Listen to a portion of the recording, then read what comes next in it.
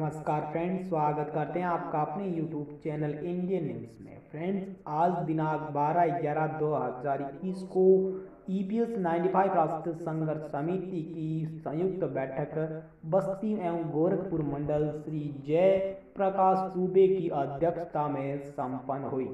जिसमें संगठन को और गतिशील बनाने के लिए श्री फौजदार यादव को गोरखपुर का कार्यकारी अध्यक्ष तथा श्री के एल जायसवाल यूपिका को कार्यकारी सचिव की ज़िम्मेदारी सौंपी गई। जी हाँ फ्रेंड्स आप सभी को बता दें कि इस प्रकार गोरखपुर जनपद शाखा में श्री जय प्रकाश दुबे को जनपद कोऑर्डिनेटर तथा श्री राधे श्याम सिंह को जनपद का उप सचिव बनाया गया। वीपी मिश्रा, मंडल सचिव गोरखपुर। तो फ्रेंड जानकारी पसंद आए तो वीडियो को लाइक करें शेयर करें और सब्सक्राइब ज़रूर करें।